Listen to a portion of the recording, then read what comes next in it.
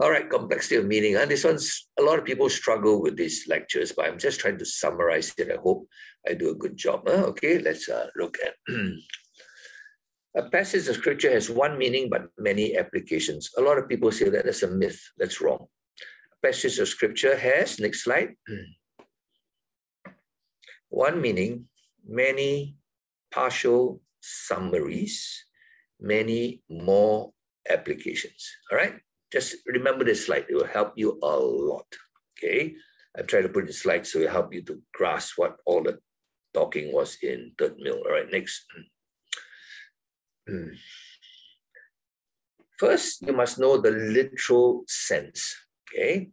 In other words, the original author was writing a real letter. There was a meaning to his letter, generally speaking. Could be poetic, could be narrative, but he meant something. All right. That's called the literal sense. The original author, Ezra, was writing something to someone literally. All right. Okay. He had a he had a purpose in writing it. He wasn't just throwing words together. All right, next. So that's called the literal sense. Though there's one literal sense, there may be many partial summaries. Let's see what a summary is. Okay, next slide. A summary is a description of a passage from a different vantage point. The guy here in the picture, looking out the ocean, he's seeing the same scene, but he's seeing the ocean. If he went down to the cliff, off the cliff, he went right down to the bottom, he will be seeing the same scene, but he will see more seashore, some rocks, and less of the sea. But if he also was turning around, he would see a lot of grass. What my point is, it's the same scene, but it depends on where you're standing. You see different things. All right, so let's look at the next slide. So what is a summary? It's a vantage point. So Genesis chapter 1 obviously is about the creation, how God created the world. So that's a literal sense. Now, if you're an organized mind, what will you be preaching from Genesis chapter 1? You'll be preaching about how orderly God is. Wow, first three days he make the stage, next three days he put the actors on the stage. Wow, okay. You're artistic guy, you're probably saying, wow, God is amazing, huh? he made the birds. Oh, so many kinds of birds. How can uh, just two wings, one big, and there's so many different kinds. Uh. Wow, how does God think of so many colors, so many different shape of big? He's a must be artistic God. So it's still God created birds, but as an artistic mind, you're impressed by the wow, the variations. If you're a mathematician, you'll probably say, wow, God is a mathematician, you know. He said, ah, two produce two, the then the four produce eight, and the eight produce 16. Oh, very fast, huh? Can fill the world, huh? Well, God's a mathematician, man. So you, if you're a mathematician, you see God's creation from a different angle as an artist. All right? If you're a doctor or a person who studies genetics, you say, wow, God understands DNA. Ah. Just transfer the DNA, the DNA, DNA now.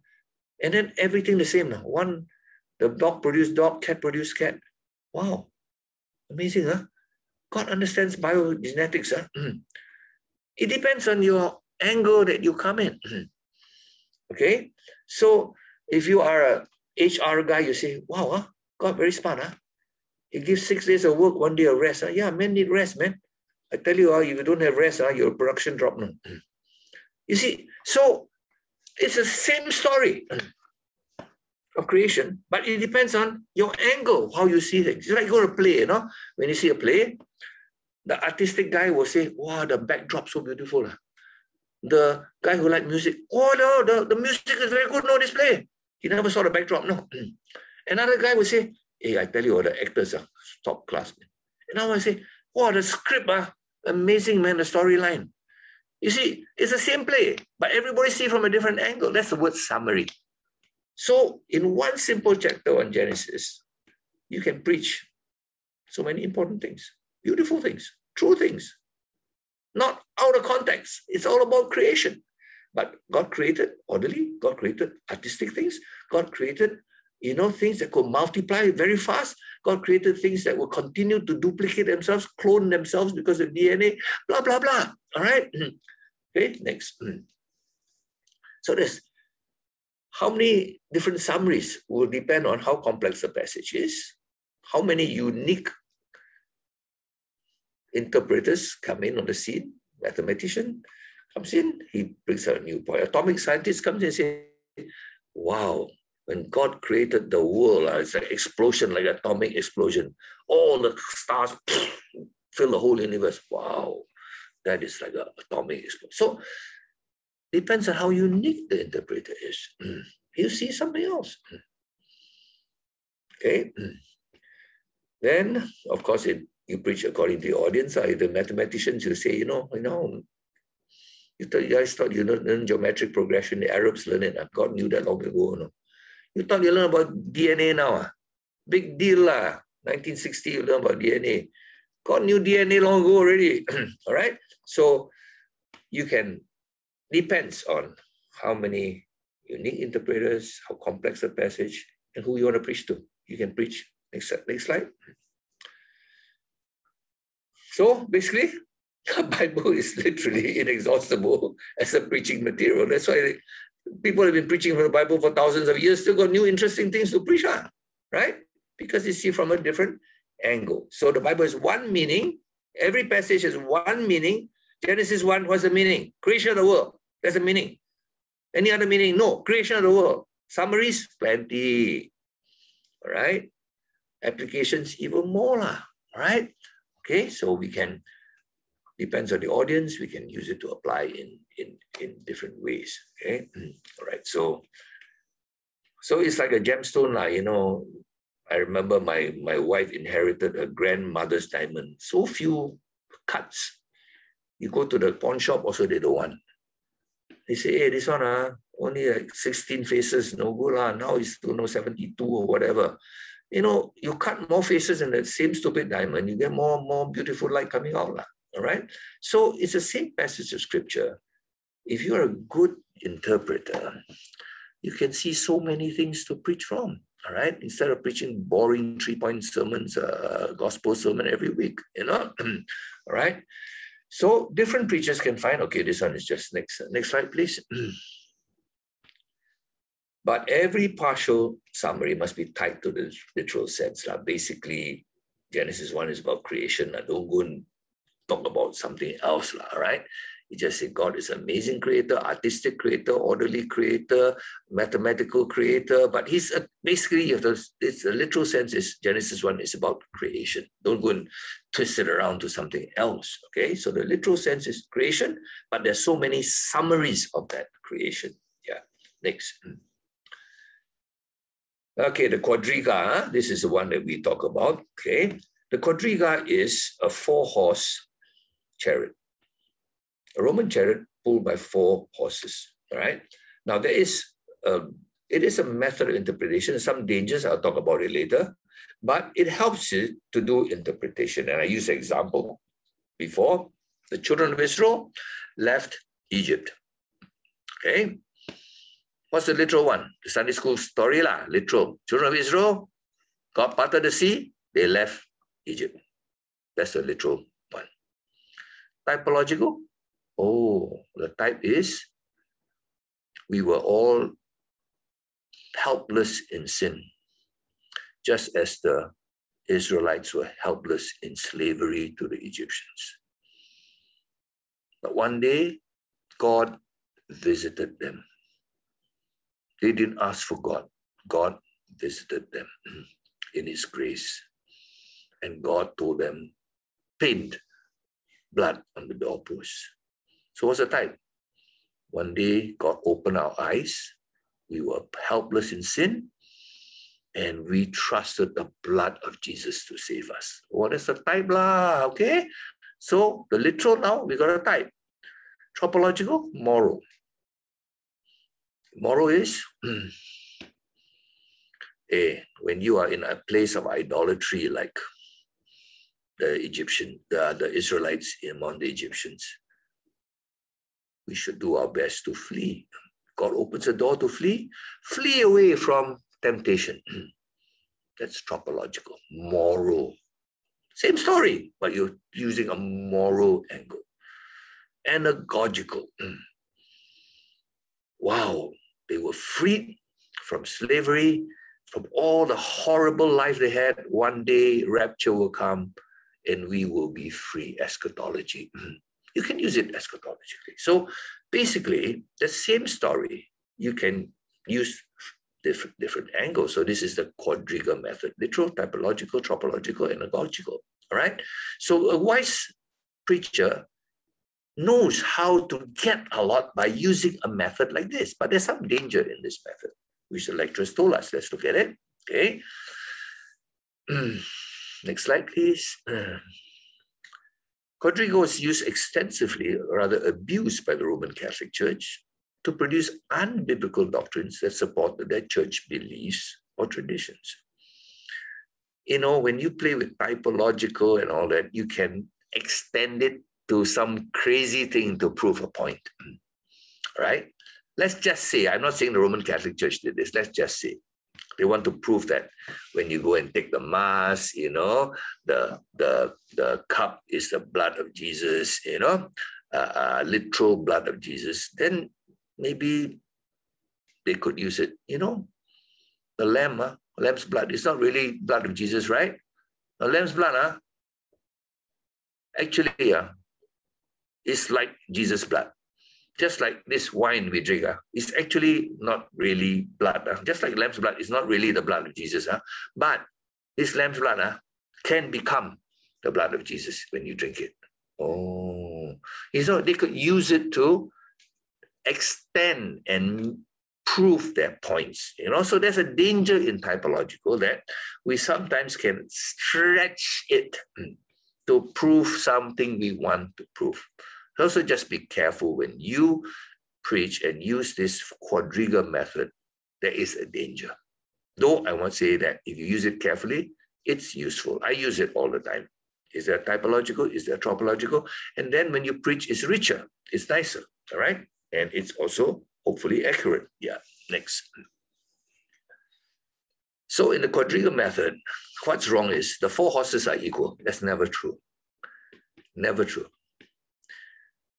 One horse is always the lead horse, the literal sense. Always remember, if you want to use the quadriga method, it's not four equal horses. It's one lead horse. The literal sense must always be remembered and your type cannot stray too far from the literal sense. Right? If you understand this, it's a quadriga, but not exactly four horses running together. Not four literal, typological, tropological, anagogical equal. No, literals are number one. Then you start doing the rest, you won't probably go too far wrong. I hope I'm not confusing you guys. Huh? Okay, I'm just revising, so I hope I'm not telling you new stuff, right? Yeah. Next. All right, so that's basically it. Huh? Literal sense is the most important, the last line there. Okay, next. So in the Bible too, right? we have what we call elaborations and deepening. Okay, let's just take sixth commandment, thou shalt not murder. Okay. If you go down later to Numbers, it explains what murder is. Murder is not just killing somebody. Murder is killing someone with intention to kill. So Numbers it says if the guy was chopping, you know, something or and the axe just happened to fly and kill somebody, that's not murder. That's manslaughter. He doesn't have to die for that. Right? So sometimes one command of the Bible is elaborated a bit further. And Jesus brings it even deeper. He said, You know what's murder? You look at your brother with hatred in your eyes and basically said, You idiot, you fool, go to hell. That is murder. Wow. You mean that's murder? Oh, who interpreted the Bible that way? Jesus. Oh, must be correct, right? So, sixth commandment is not about, you know, you ask average Christian, are you a murderer? No lah. Joking are you? I never murder anyone, what? And then yet they read Jesus saying that if you hate your brother, that is murder. You see, they thought Exodus 20 is thou shalt not kill means I didn't take a knife and kill someone. You ask anyone in your church tomorrow, are you a murderer? 99 or 100 will say, Pastor, stop joking lah, Pastor. Lah. Okay. And yet they read the elaboration, the deepening, the hard sin that Jesus described as murder. All right. So when you interpret the Bible, you must understand you sometimes have to see one verse and it is elaborated. Manslaughter is not murder. And it's deepened. Hatred in your heart against someone, you wish you could kill him, you wish he would die, that's also murder. And then we have extensions as a preacher. Is abortion murder? Hmm. Christians are still debating. Euthanasia. Old people suffering a lot of pain and all that. Hmm. Should you just spare him? Give him a nice injection and say goodbye to him? Be kind to him? Many European countries now, euthanasia is promoted. Mm-hmm. All right? Stretch it further. You saw your neighbor hungry, and you know he's on his last meal, and you had the means to help, you didn't help him. Is that murder? okay? So when you want to preach, you have a mind that understands the Bible is richer and deeper than the Sunday school version of the literal sense. I hope you, you as preachers, we must understand the book is deep, is rich. And you want to preach well, you must understand there's different ways of preaching, not just shallow like Sunday school, you know. That's why a lot of preaching is so simple and so boring. I'm not saying simple is bad, but it's boring. There's nothing. They have, they have nothing to preach. The average pastor borrows a sermon because he reads the Bible, there's nothing in it for him to preach. Hmm. Right? I'm not saying borrowing a sermon is wrong, but it's so sad when the Bible is so much. Hmm. Right? Okay, next. Hmm.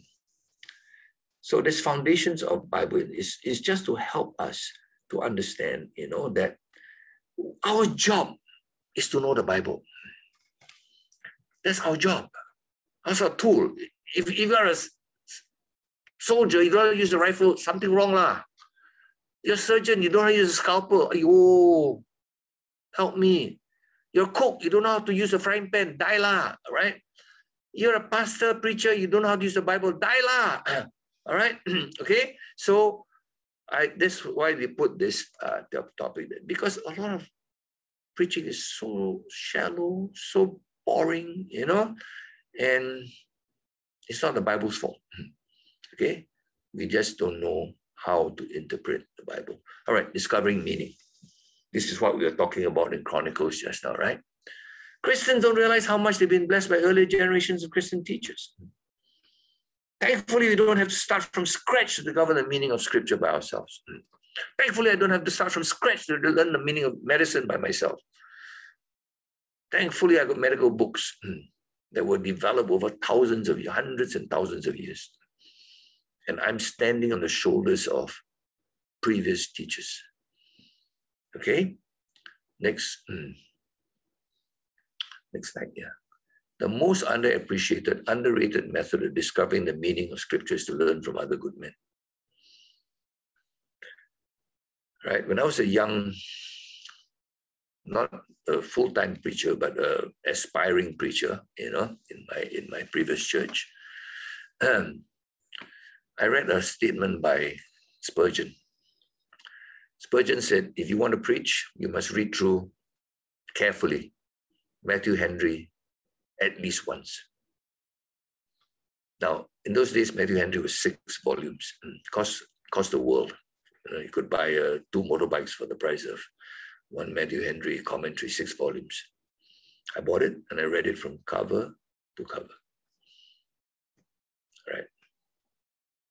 Because good men are the best way to learn. Science, medicine, cooking. You want to be a good cook? Learn from other cooks. Everybody does that. Okay? I don't know why, as Christians, we don't, or many don't. Right? I owe my understanding of the Bible largely to this old guy called Matthew Henry. Those days, commentaries were not common. We didn't have internet. All right. And I bought this sixth one. I literally read it from cover to cover. All right. Seriously. In fact, I read more than once. Okay. okay. But where did I learn the Bible? You think out oh, the blue just ding, ding, ding, like like sparks, illumination all that. As I read, Matthew Henry got illuminated. Right? Because God uses teachers. Matthew Henry is a teacher I never met, but he's a teacher. Right? He taught me how to understand the meaning of scripture. Okay? So let's move on. So this one is what we talk about just now, right? You know the author, you know the original audience, you know the document, all right? Is it okay? Move on. Uh, okay, we talk about this, huh? reading other people's letters. okay. Now let's take some how we can misinterpret the Bible and go on for years. Okay. Can you all take out your Bible now? Let's look at John 3 16. Mm. Right? Everybody take out John 3 16. Mm. Now, most people preach John 3 16 as for God so loved the world. Wow, you know, I preach I preach this for many years like that. I tell you what, uh, God so loved the world that you are sinner, he also died for you. you reject him, he so loved you, he still died for you. When we say so, it means so much. That's what we meant. All right? And it goes on and on. I keep hearing people preaching that. Then you read John 13, John 3, 14 and 15, even as the Son of Man lifted up the serpent in the wilderness, even so, same word, huh? so shall the Son of Man be lifted up, that whosoever believes in him shall not perish but have everlasting life.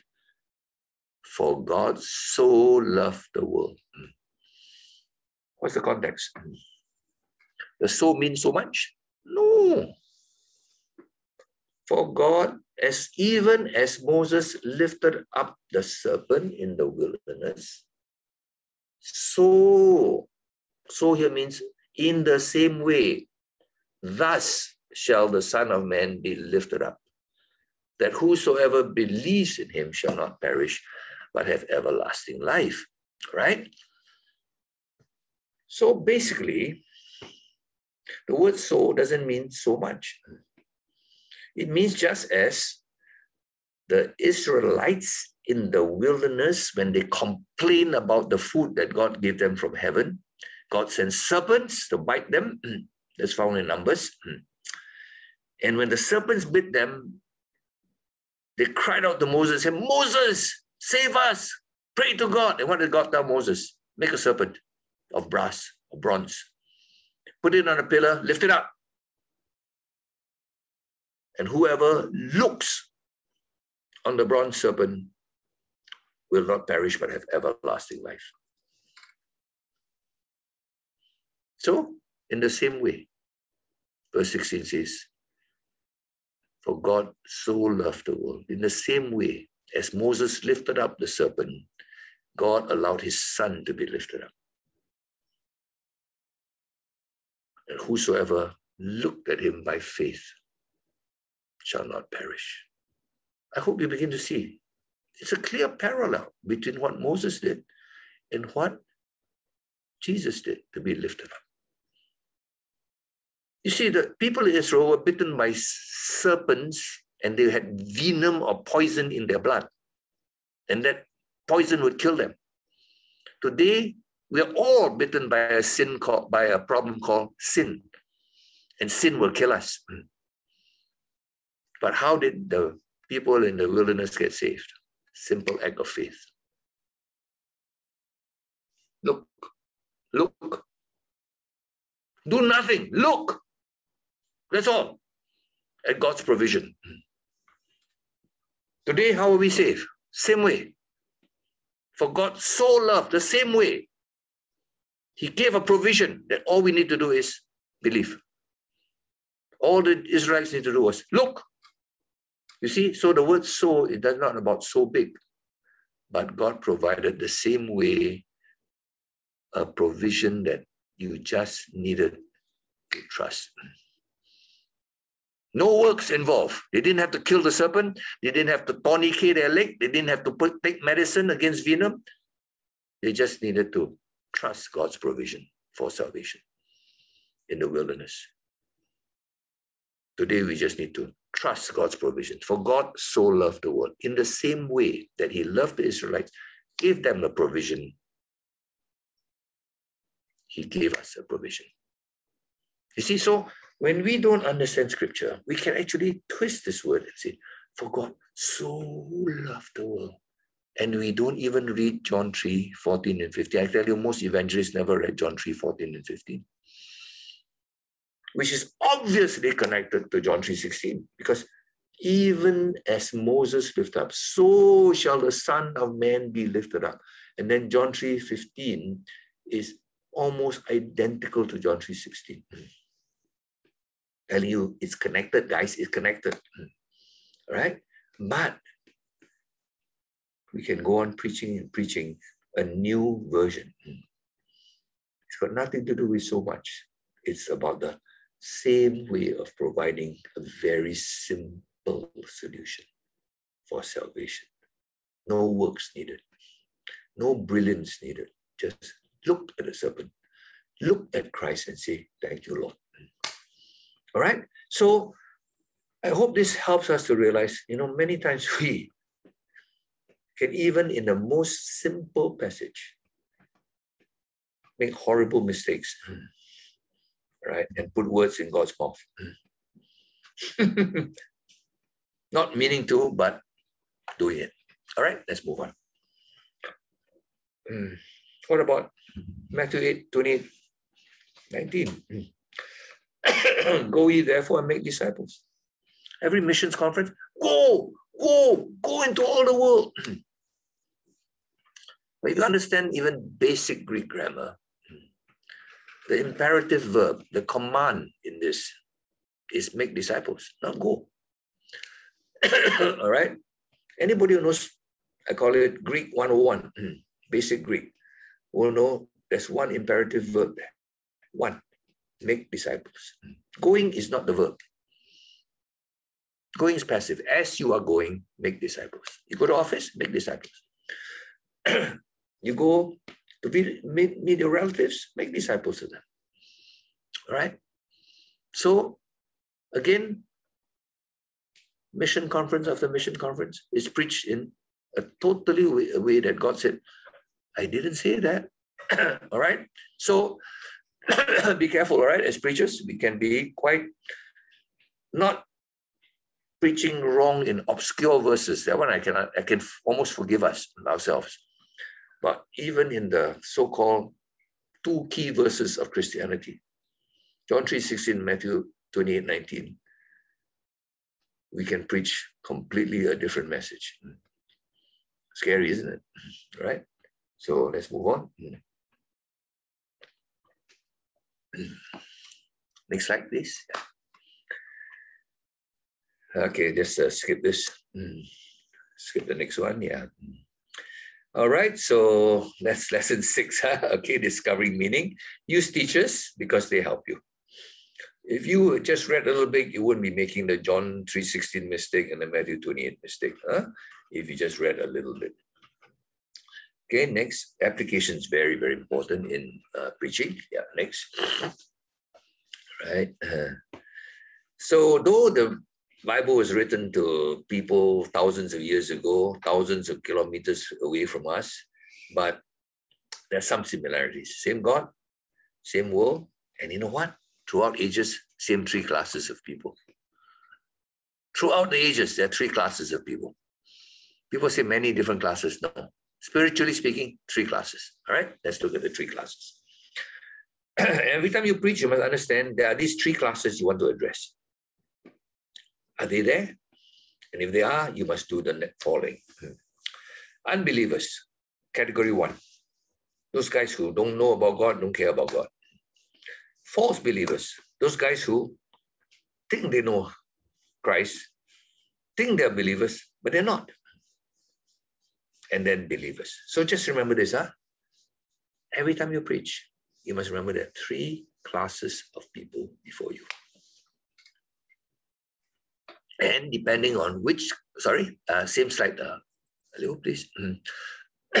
depending on which group you want to address, you have to do the following. All right? Take example in my church, Christmas, Easter used to be, because before COVID, of course, a time we invite all unbelievers grandfather, grandmother, neighbor, friend. Christmas, they come, you know, it's kind of like religious time. On that day, you realize you want to preach to the unbelievers because they're not likely to come the rest of the year. Hmm. So then you focus, you apply your message to that category, right? Telling them, you know, about sin and telling them about their lost condition. That, you know, there's a holy God who hates sin. One day you're going to stand before this God and you better repent and trust Him because there's no way you can stand before this God on that day who saw all your sins. You're a dead man on the day you stand before God who saw every sin in your heart, your thoughts.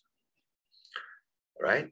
So when you are preaching on a day like that, you apply the message to the unbelievers because you know that's the day for them. Don't need even to preach to the believers. They'll come back every other Sunday. Don't worry about it. You got another 51 weeks to preach to them. okay? False believers also no need. They're going to come back. You know, their wife will bring the husband there, the children go. They're not believers, but they're churchgoers. Mm. They'll come back. Okay, so always know your audience. What are you? What are you targeting? If you don't know your message is, you know, to try to hit three three birds with one one uh, rifle, you probably miss all the three, right? So remember these three categories every time and ask yourself, where's my primary target, right? And then you know what to do. Okay, next. Yep. So lesson eight. Okay, this one is quite simple. Huh? Um, there are different epochs. You know, God dealt with people differently. For example, at the time of Abraham, God didn't tell him a lot. Just God just wanted to know there's one God.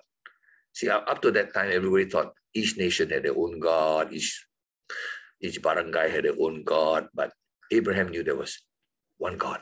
That's all, you know. Abraham didn't know a lot about polygamy, about other stuff. He didn't know about having mercy on the poor, evangelizing. No, no, nothing of that sort. Lah. In his epoch, God was just trying to teach him one simple thing. Not many gods, ah, one God. Ah. Okay? So he's like a little child being taught. Uh, the first simple truth. Okay? First commandment, basically. There's one God. Right? And so God dealt with them and added and added and added more rules as his people became more matured in understanding him. Just like our children, we teach them simple things. As they get bigger, we teach them more things because they're expected to know more, right? So God's people grew in understanding. So he he didn't just say, hey, just know there's one God enough. No, no, no, now we have so many other rules, right? So he deals with us slightly differently each epoch or covenant. All right, next slide. Hmm. okay, just skip this one.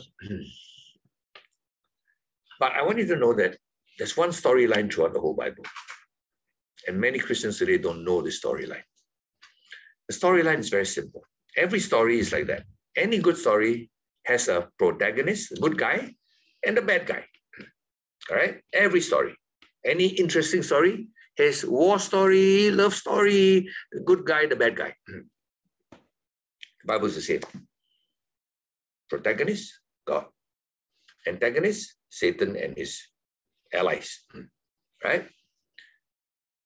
The only difference is in a typical story, the protagonist and antagonist sometimes equal power. Lah. So, you know, fighting, fighting, fighting, fighting. Huh? But in our storyline, the Bible storyline, the protagonist is God I cannot say Satan and God same power, mad, lah, right? God's all powerful, but God allows Satan to oppose him and his people. Okay, just get that straight. That's the only difference between other storylines and this storyline. Okay, so whether it's a time on Adam, Noah, Abraham, this storyline continues from Genesis chapter 3 right to Revelation, the end. The storyline never changes. There's the enemy trying to get. Now, so what PCY tell us this? We all know this. The truth is we don't. Next slide. You know, ancient Christians, the early Christians, were very aware of the spiritual battle. Totally aware of it. They knew the spiritual battle is very real. Today's Christians are totally unaware of a spiritual battle. I say that without reservation. They think Satan is like already retired, not getting old already. Hmm. He's an old folks' home already. Hmm. They just preach lah. As long as I prepare my sermon, they will listen, they'll get changed. You know, we don't know there's a battle going on for our minds. We don't know there's a battle going on into our disciples. Hmm. We don't know. We forgot the storyline. Today we're so intellectual. You say, Pastor, this is so basic. Yes, it's so basic. But it's so neglected. I say without reservation. You start, I'm not saying you make the devil like he's he's more powerful than God. You know, that's terrible. Some people like, wow, the devil's everywhere. They're terrified the devil, casting out here, casting out there. No, lah, he that lives in us is greater than he that lives in the world. I know that. But at the same time, I know he's there to irritate. I know he's there to sabotage. I know he can't, he, he's not that powerful, but he's there. All right? But how many Christians do you think go to church and say, you know, we are in a spiritual battle? Not one in a hundred. Right? But if you look at the Bible, the storyline never changes. Right? From Genesis 3 the line of Seth, the line of Cain, and so on and so on, and going around. The Israelites, the Gentiles, the Christians, the unbelievers, the line just continues. right? But if you forget the storyline, you fight the wrong battles, brother. Remember, we don't fight with flesh and blood. And we all know the verse, but we don't really practice it. All right, move on. foreshadows. Uh, foreshadows is as a type, you know. Isaac's sacrifice in Moriah, a type of Christ's sacrifice. Joseph's life, perfect life, Joseph, you know, almost a sinless life this guy had, you know. His brothers deny him, he sacrificed for them, he never, you know, took revenge on them. It's a type of Christ, you know. Elisha, type of Christ. Raised the dead, healed the leper, hmm. stuff like that right? So the Bible has a lot of foreshadows that we can use to preach and make things rich. You know, when you preach about Joseph's story, you should say, you know, how he foreshadows Christ's life, hmm. right? When you preach about Elisha, it's not a character study of Elisha. It's more of Elisha was foreshadowing another one coming later, right? He's giving you some hints of how Christ would be. All right. So a foreshadowing is like a type. All right. Okay. Next, next slide.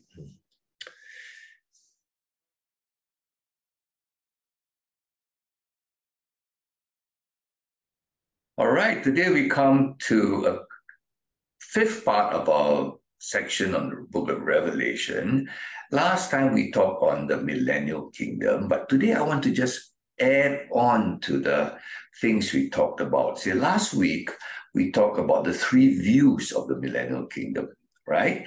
That basically, there are actually many sub views, but basically pre-mill, a-mill, post-mill. Uh, pre-mill is people who believe there will be a millennial kingdom, okay, which I personally believe in that.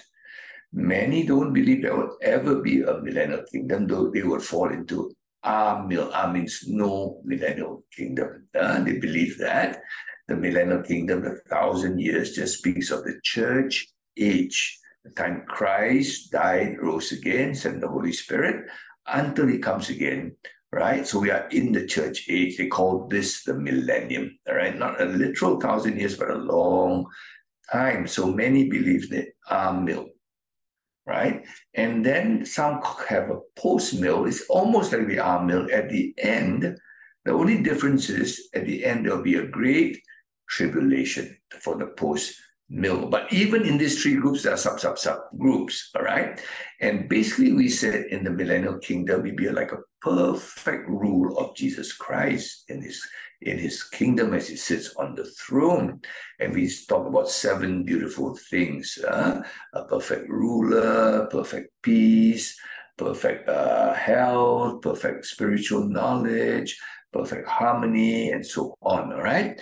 And then even a perfect millennial temple, right?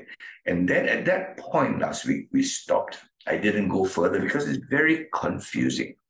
Now, we all have different views of exactly how the millennial kingdom will be, but I try to make it as simple as possible. And I personally like this uh, scale or this report done by somebody called George Zeller. Now, George Zeller is a good man. I don't agree with everything he believes. In fact, we do disagree on a lot of things. But on this part of the millennium, he has really made it very simple for us. If you have this in your mind, what we're going to learn today, honestly, you will not have much problem being confused. Now, you don't have to agree with everything George Zeller says here, but I think he's made it very simple. So for most of us, this would be a beautiful way to remember what the millennial kingdom will be like. All right, so let's just take this is adapted a little bit from George Zeller's uh, original. I took the liberty to adapt a little bit. I would say 90 over percent is still his work. Okay, so let's just look at a quick overview of the millennial kingdom so that you will not be confused and hopefully less confused. Maybe that will be a better word. All right. So we see the topics. Uh, he divides this um, this to help us understand. He divides the world or the ages after Christ's uh, coming and resurrection into this present age. We call it the present world, the one we're living in now. And then the next stage is called the age to come, according to premillennialists. That will be the millennium or the millennial kingdom. And then the final stage would be the eternal state or eternal ages. Uh, all right, so he divides it into these three. We are at the first one. Okay, duration of the present age, we don't know exactly how old this world is, and we don't know how long more before Christ comes. All right, so unknown to us. Okay, when did the world start? When will? Uh, uh, sorry, uh, apologies, not when the world started. When Christ rose from the dead. All right, and he sent the Holy Spirit to us that started the present age, the world we live in now as believers. But when will it end? We don't know. Okay, so the millennial kingdom, we know how long it is 1,000 years, as for Revelation 20. The eternal ages, duration, of course, forever and ever, zillion, zillion, zillion, zillion years. Now, what's the event before the present age? The event before the present age is Christ's death, Christ's resurrection, his ascension, and the sending of the Holy Spirit, Pentecost. Pentecost began for us, the present age. Okay? What the event preceding the millennial kingdom is very simple. Okay? Is preceded by the great tribulation. Okay, so there's going to be a time at the end of this present age there'll be tribulation. And then the, at this tribulation, okay, shortly after that, Christ would come. Second coming of Christ, right? When the second coming of Christ comes, he begins the millennial kingdom. Okay? So I hope that helps. As you look at it, it will be quite simple. Then what about the eternal ages? What precedes the final stage of, of time is that would be the great white throne judgment, which we will do in today's lesson. Okay, so today's lesson, the second part is the great white throne judgment. After that, it is eternity already. All right, eternal ages. Now, what is the termination point? Okay, now, what will end our present age termination point? Second coming of Christ, when Christ comes again. This present age that we are in will end. Okay?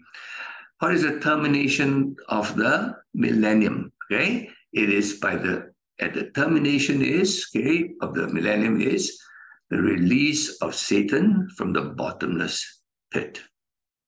Okay, Satan had been bound for a thousand years during millennial kingdom. He is released. That's the end of the uh, millennial kingdom. Huh? All the verses are the biblical verses are there. What is the terminal point of the eternal ages? No terminal point, like it's eternal, right? So no need to ask that. That's not a very wise question. What about the resurrection? In the present age, what about the resurrection? When are we going to be resurrected? Future. When Christ comes, all right? Then I could be resurrected, all right? You will be resurrected if you're dead, right?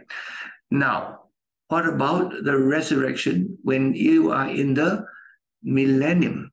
Okay, so the millennium is preceded by the first resurrection. That means when Christ comes, there will be a resurrection of believers, right?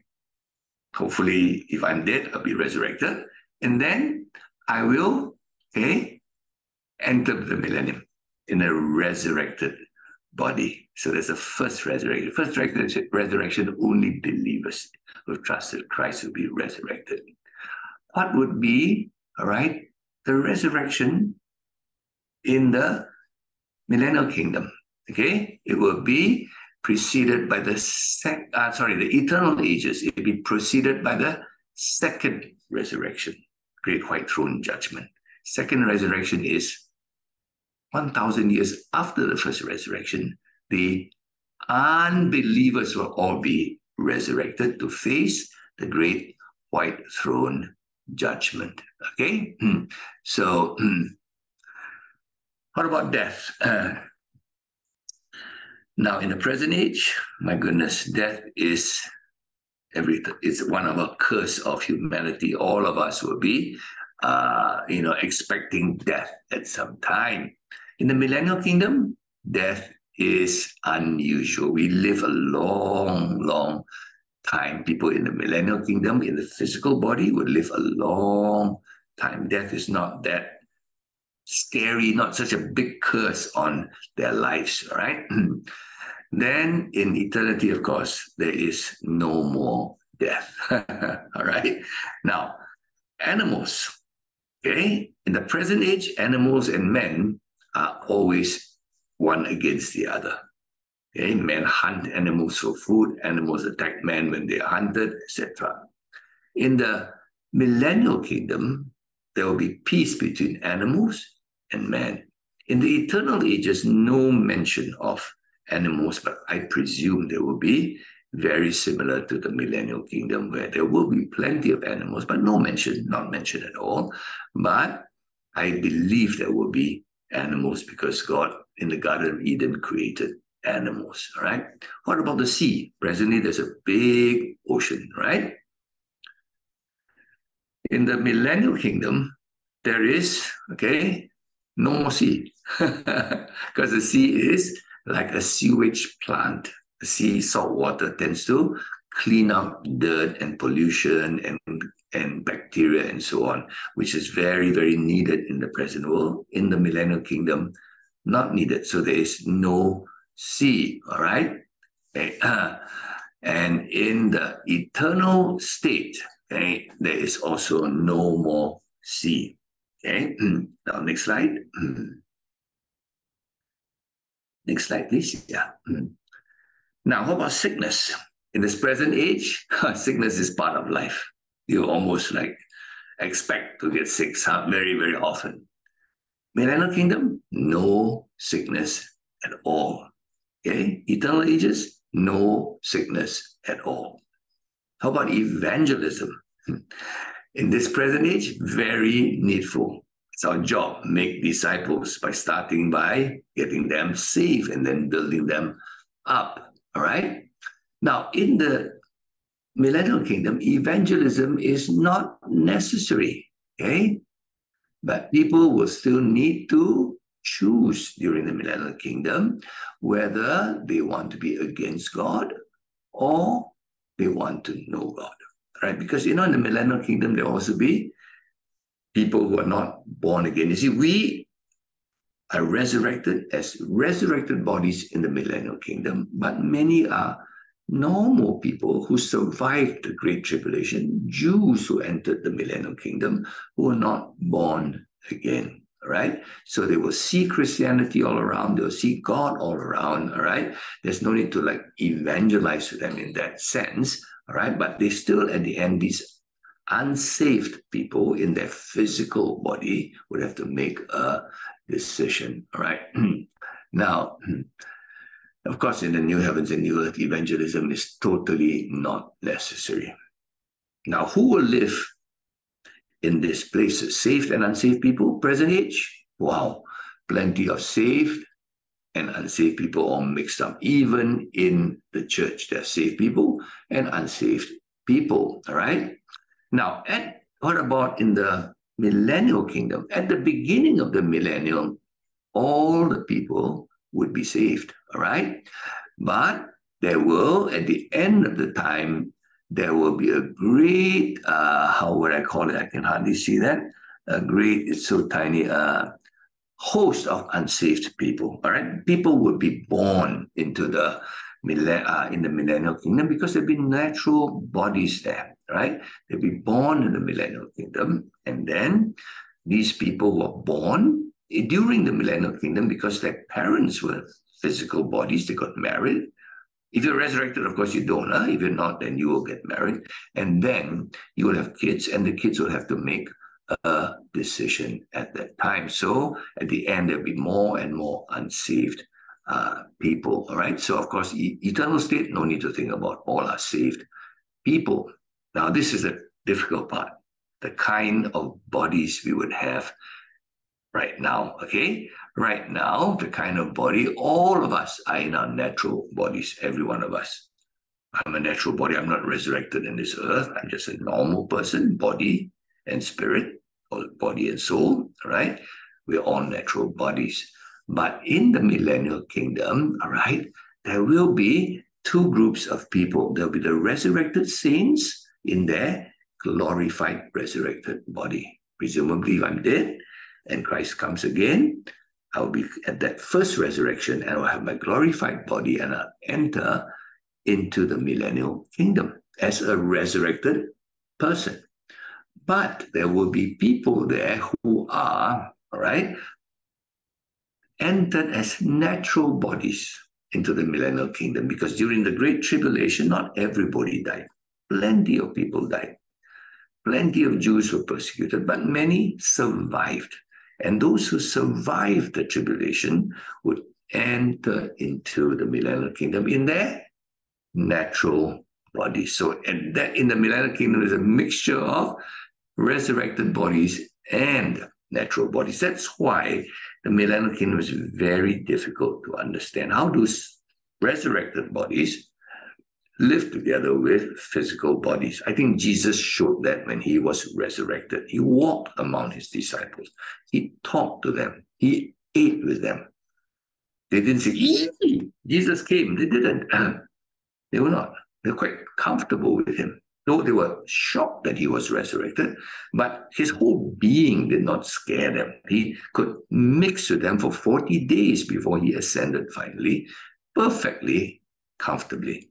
So this mixture of resurrected bodies and physical bodies, natural bodies, will be in the millennial kingdom. Now, this is why many people reject the millennium, I think, because this is a struggle for people, especially the Greek mind. You know, we talk about the Greek mind. In the Greek mind, anything physical is not good. Spiritual is good. But actually, there's nothing wrong with physical. God made the physical body. What, what's wrong with my physical body? Nothing. It's made by God. But people say that's worldly. No, no, worldliness is the love of the system of the world, the ways of the world. Worldliness and being physical are two different things. Other religions think the body is bad. We can never say the body is bad. When God made man, he said it is very good. God made Adam, who had a physical body, and God said he's made in my image. So Jesus in a resurrected body, okay, uh, has a body. okay, and so God loves the body. God recreates us back when we are dead.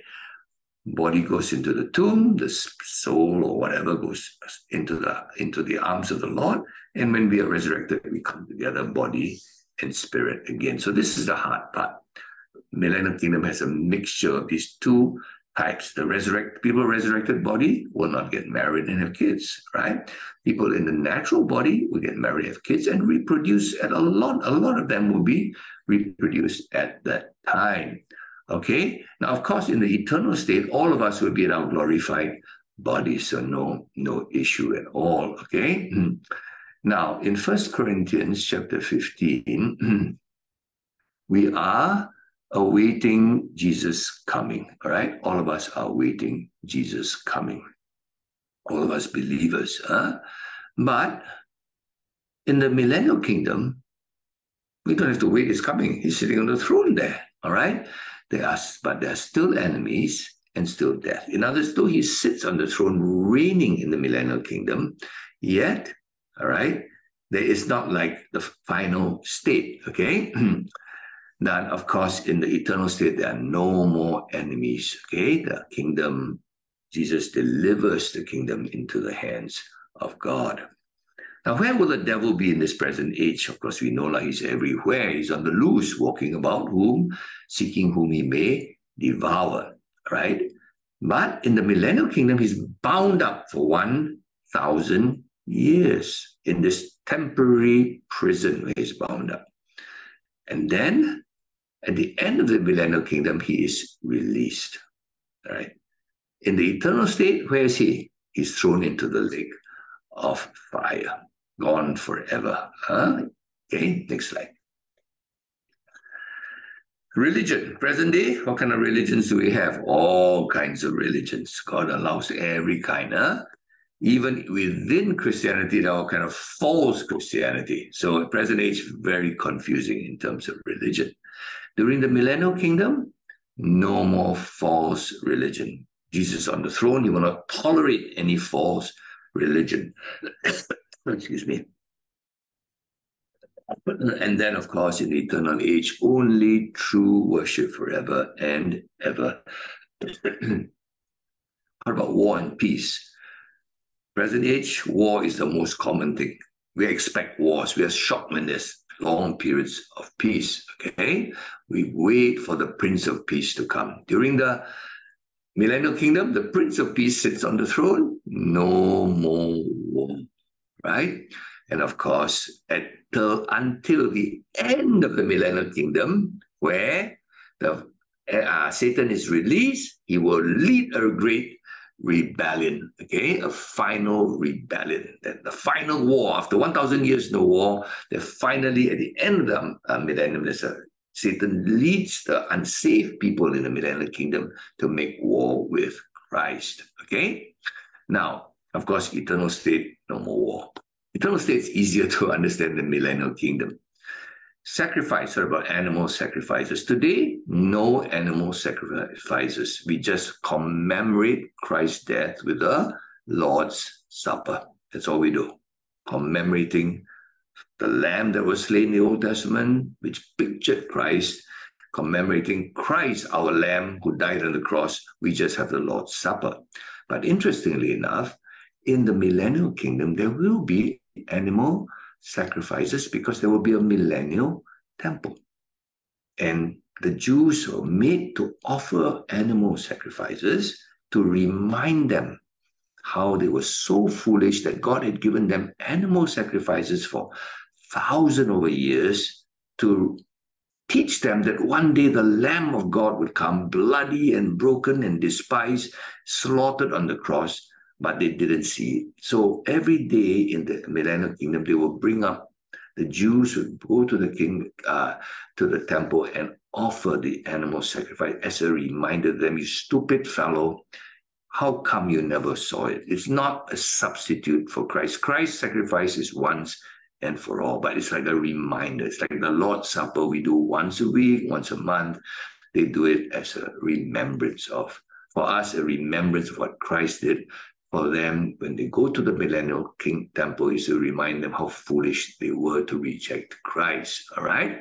Of course, in the eternal stage, there is no more sacrificial system. Today, present age, temple, is there a temple? No need. We are the temple of God. Holy Spirit lives in us. During the millennial kingdom, there will be a very super temple. That's described beautifully in Ezekiel chapter 40 to chapter 48. All right. Amazing. Uh, uh, okay. And then finally, in the eternal stage, no more temple because the glorious and great God is right there with us in the new heaven and new earth. What about the Lord Jesus Christ? What is his status? Right? In the present age, he is our Lord, somewhere up there. in the millennial kingdom, he will be right there as the king of the millennial kingdom. One king only, are now there many kings, right? Millennial kingdom, one king, he will be the king there, right? And then in the eternal state, he will be on the throne, the throne of God the Father, and throne of the Lamb. He will be the Lamb of eternity. Okay, now this is just three uh, very simple slides that will help us, I believe, to understand in quite simple terms. You may not agree everything that George Zeller puts down here. There may be some variations in how you believe things are. And in fact, most people who are so-called pre-millennium, millennial, would also disagree on certain things among themselves. Uh? So that's the reason why most Christians struggle when they reach the book of Revelation. They get stuck at Revelation 20, which describes the millennial kingdom. And then most seminary students would be stuck there debating things, trying to grasp the millennial kingdom. And then by the time the semester ends and their course ends, they have no time to really look at Revelation 21 and 22, which is about the new heaven and the new earth. So most people get stuck at the millennial kingdom. So I don't want you all to spend too much time arguing with one another about the millennial kingdom. You have your views, I have my views. I'm not sure who's exactly right, right? But I think George Zeller in this very simple chart has given us quite a simple way. I've read many different books on the millennial kingdom. Is more narrative. You really try to picture it in your mind, not so easy.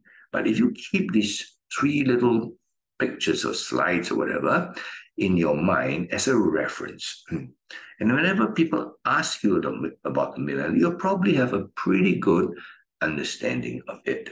So I would suggest don't debate on this about the fine points of this. I think the major points that George Zeller puts down can be agreed by most pre-millennialists. All right. And I think many of us here are pre-millennialists because it's hard to read Revelation one chapter after another without seeing the millennium stuck between the present age or the present world and the new heaven and new earth. As you read through, you read chapter 19, and then, oh, chapter 20 is the millennial kingdom, and then, oh, after that is a new heaven and new age, very much like this. Okay? So if you read Revelation as one book, and I believe the early church, too, historically speaking, were basically pre millennialist. But I'm not going to make a big debate about this. If you're amill, you're post mill, that's fine. We can still be brothers. We can agree to disagree. Uh, so I hope you don't spend too much time agonizing because it's very hard for you to grasp millennial kingdom where resurrected bodies, physical bodies come together, you know, Christ's resurrected body on the throne ruling over, and we as resurrected bodies, having rule over physical bodies who seem to obey God, seem to obey God, and the last part, they rebel against God. Very hard to grasp all these things. Uh, but I hope that this helps you to put the, the picture in order, but don't get too caught up in Revelation chapter 20, because 21 and 22 is the exciting part. So at this point, we move on to the great white throne judgment, right? Which begins the end of time, the end of the millennial kingdom, and enter into the eternal stage. All right, we now come to the Great White Throne Judgment. This is the only place in the Bible you will see the term the Great White Throne Judgment. Let me explain it to you, okay? All people who not, did not receive Jesus as their Savior will be resurrected at the second resurrection. All right, and at this resurrection, they will be judged at the Great White Throne Judgment for their sins. And of course, everybody has sins. Everyone is a sinner who didn't receive Jesus all his sins has to be paid for, so he's thrown into the eternal lake of fire. At this point of time, only Satan, the Antichrist, and the false prophet are there. Three lonely fellows there. Now they have millions of people joining them, screaming and yelling in the lake of fire. So this is the second resurrection. Okay, next slide. Now, those who trusted Jesus actually were raised 1,000 years earlier at the first resurrection, right? And they were not judged at the great white throne judgment, they were judged at the judgment seat of Christ. You see that phrase, huh? this one is called Great White Throne Judgment. That one is called a judgment seat of Christ. Judgment seat of Christ is for rewards, not to be condemned, but to decide your rewards for the good works that you have done. Your sins are already settled at the cross, so that's not an issue if you've trusted Jesus. So what's the judgment for? For rewards, not for punishment. Punishment, Christ paid already, all right? And then these people were resurrected a thousand years earlier, right? Will live in their resurrected bodies in the millennial kingdom, right? So let's read some verses to justify the judgment seat of Christ and to see where we got that from. Why do you pass judgment on your brother? Or why do you despise your brother? For we will all stand before the judgment seat of Christ, not the great white throne judgment. Huh? We are Christians. Huh? First Corinthians, actually, or Second Corinthians chapter 5, verse 10, for we must all appear before the judgment seat of Christ. So we will appear before the judgment seat of Christ for our reward, so that each one may receive what is due for what he has done in the body, whether good or evil. So all the good deeds of yours will be rewarded. All those things you did that are junk will not be rewarded. All right, next slide. Now, actually, I want to explain the term death. You know, in the dictionary, death means the cessation, end of everything. The truth is, okay, death for believers is not the end of everything. The body goes into the grave, yeah, it seems to end, but no, no more function, right? The body is like not, not functioning, huh? but the spirit's still alive. So can you say death is the end of everything for a believer? Answer is no. Okay. What about unbeliever? Again, right? For a believer, death means separation of the body. That's at death, what happens? The separation of your body from your spirit. Okay. For unbeliever, what is death? They're separated from God forever and ever, right? To be forever in the lake of fire. So actually, the term death is not nothingness. It's not you stop breathing and stop functioning. No, it means actually the it's find it in the dictionary, but really it means separation of us, our body, and our spirit for a time being. Then later we get resurrected for the dead person, body, spirit separated, and then finally separated from God also. So death means separation. Huh? That's probably a better definition, not found in the dictionary, but theological uh, definition of death is separation. Next slide. Who will sit on the great white throne judgment? It, the Bible tells us in John 5.22, the Father judges no one is given all judgment to the Son. John 5 27, for he has given him authority to execute judgment because he's the son of man. All right, so who would be on the great white throne judgment? Jesus Christ. Next slide. Now, this is very interesting. People are a bit confused here. I'm going to read the verse, uh, verse 12 of chapter 20 here. And I saw the dead, great and small, standing before the throne. The books were open. Then another book was opened, which is the book of life. And the dead were judged by what was written in the books according to what they had done. So you see, there are two kinds of books here. One is a singular one called the Book of Life, one only. Then the other one is volumes and volumes called the books, right? Books.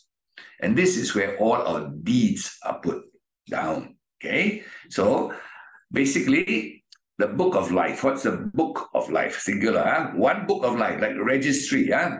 It is the names of all who have ever lived. I believe this, huh? right? The names are removed when they die. Okay, so if your name when you're born, you put there Paul Chu. Now, assuming Paul Chu never trusted Jesus as Savior, when Paul Chu died, that name's removed from the book of life. He's not alive anymore. Right? But when Paul Chu dies and he has trusted Jesus as Savior, the name is not removed because he has everlasting life. Okay? So the book of life is one single book registering everybody that ever existed. And it's that fellow is erased from the book if he dies and has not trusted Jesus. Now, the books, on the other hand, are records of all the sins that we have committed.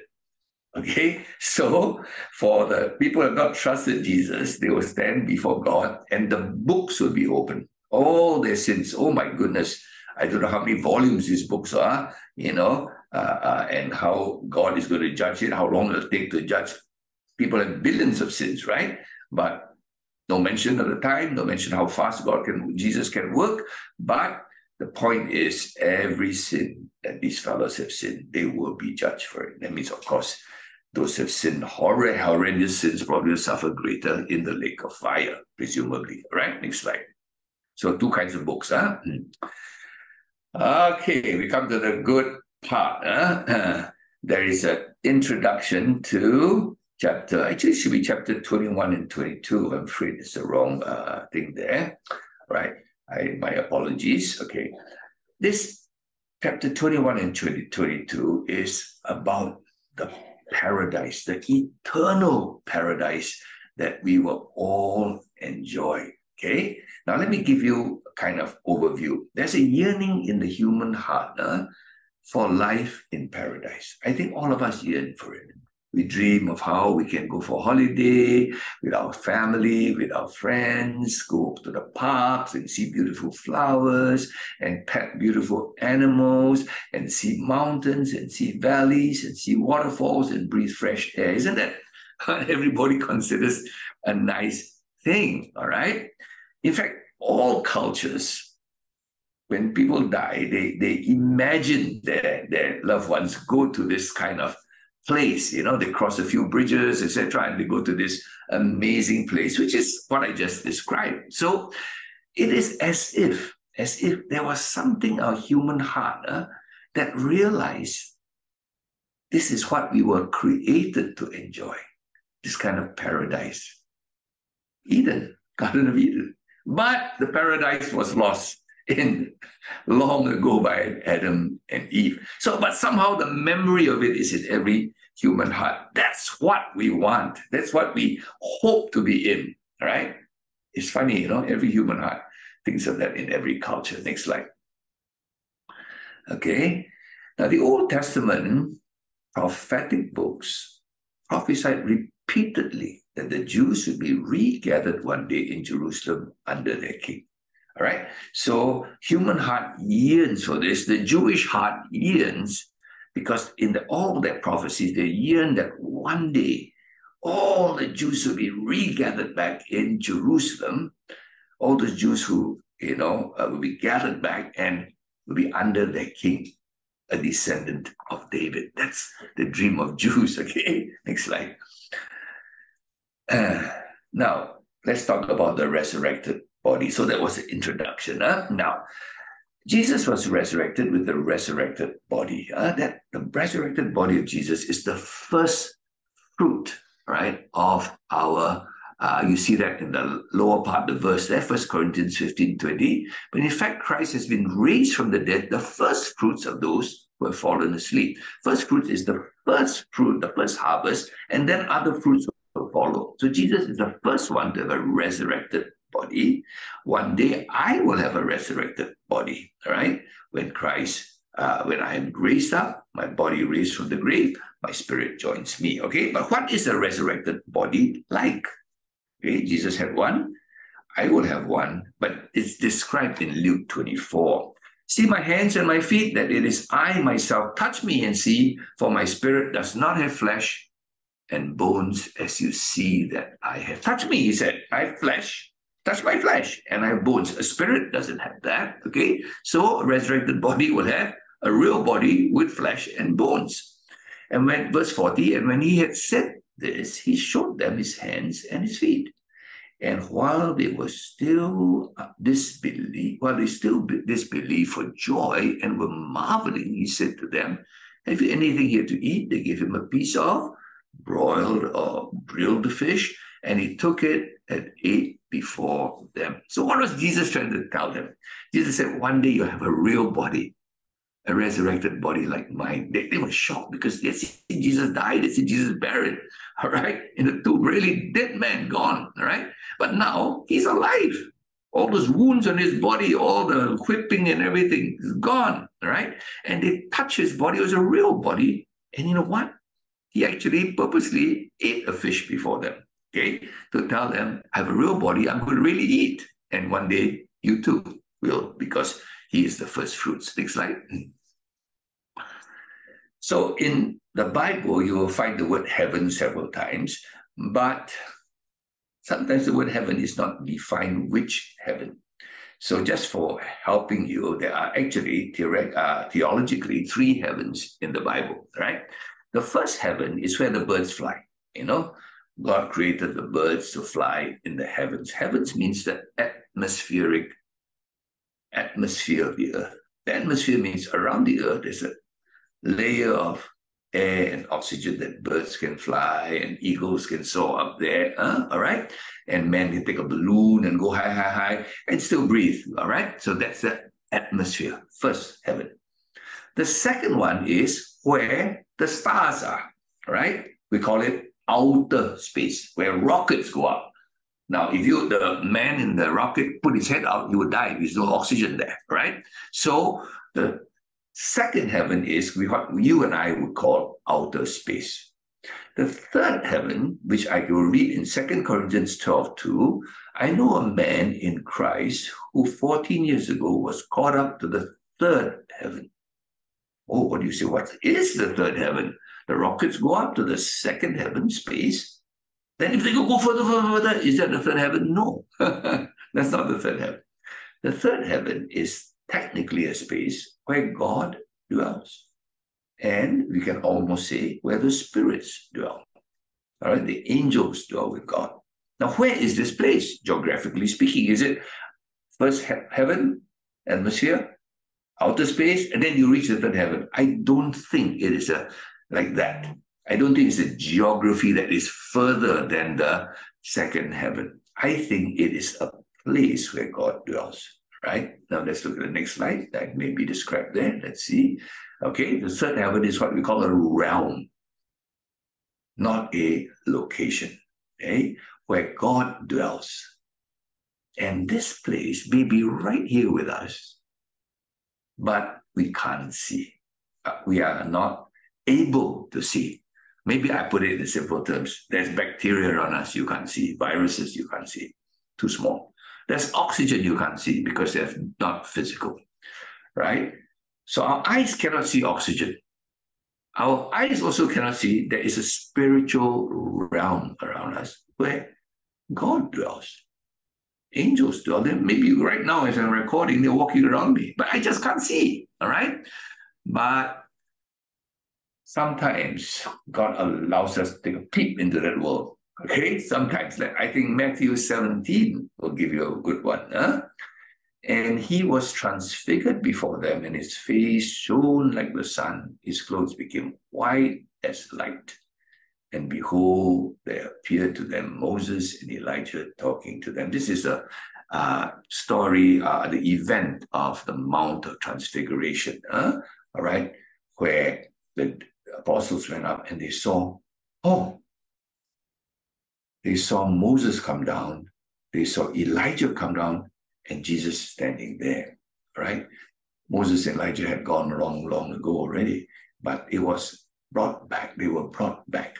And this was a realm that normally nobody can see, but on that day, God allowed them to see, oh, Moses, Elijah, and maybe, you know, once in a while, God allows people to see, oh, angels around us. Huh? All right. So it's a realm. It's not a faraway place. It may be right here next to me, where God is right here around me, and I still can't see unless He shows, He reveals Himself to me. So basically, third heaven is a place where God dwells, which is actually everywhere. all right. So very hard to grasp, huh? all right? But that's the third heaven that you have a peep into the throne of God, you have a peep into the things that happen around God. That's the third heaven. And maybe around here, all right? Yeah, okay, next slide. Hard to understand, hard to explain, yeah. Hmm. Now, in the new heaven and new earth, this is all introduction, okay?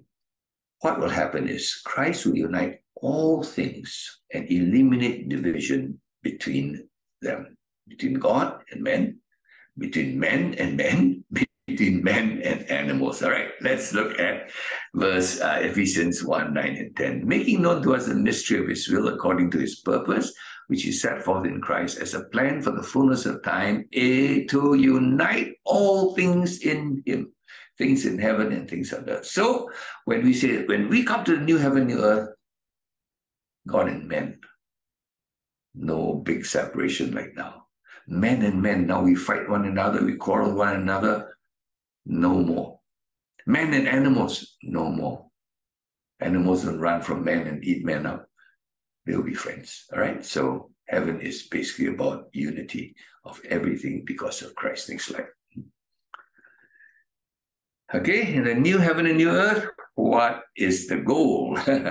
Man will continue to fulfill the cultural mandate that was originally given to Adam. Huh? So we see here, then God said, Let us make man in our image, after our likeness, and let them have dominion, rule over the fish of the sea, the birds of the heavens, etc. Okay? Look at Revelation 22. Dominion means rule, to reign. Okay? and night will be no more. They will need the light of the Lamb uh, of the sun, and need no light of the Lamb of the sun, for the Lord will be their light, and they will reign forever and ever. Okay, Adam was asked to rule and reign over everything. Of course, at that time there are no other humans, so he reigned over birds and animals. But you and I, what are we going to do? Same thing, rule and reign. Okay, next slide. So, in Revelation 21 and 22, there is very little description of the new earth. Just two chapters. the place we're going to live forever and ever. Just two chapters. Big book, you know, hundreds, thousands of chapters. Only two chapters describe the new earth. Why? Because the truth is, we can imagine an improved earth. It's not very complicated flowers. I can imagine waterfalls. I just it's just going to be a lot better. Brighter flowers, bigger flowers, juicier fruits. You know, higher mountains and better waterfalls and beautiful lakes, etc. I can picture. All right, it's not something need to explain a lot. So there's not much description. Next slide. So, all right. Though all Christians affirm the belief in the resurrection of the body, most Christians believe they will spend eternity as angel like disembodied spirits. That means many people imagine that they will be like angels floating in heaven, all right, forever and ever. Share the possible factors that's led to this misconception. Why is it when the Bible tells us we'll be resurrected like Jesus. We won't be floating around. When Jesus ate, ate fish, he had bones, man. Bones don't float around, right? Why is it people think that way? Okay, what are the many factors that make us think we will be some some floaty angelic being rather than like Jesus when he was resurrected, walking among them. Say, touch my body, touch it. There's flesh and bones. Hey, give me some fish to eat, right? So why is it that we have this wrong concept of our eternal future? Hey, that's very important, you know. You're going to be there forever. You have the wrong idea where you're going to be and what you're going to what you're going to be and where you're going to be, floating on a cloud or walking on a new earth. All right. So discuss that for maybe 10 minutes, right?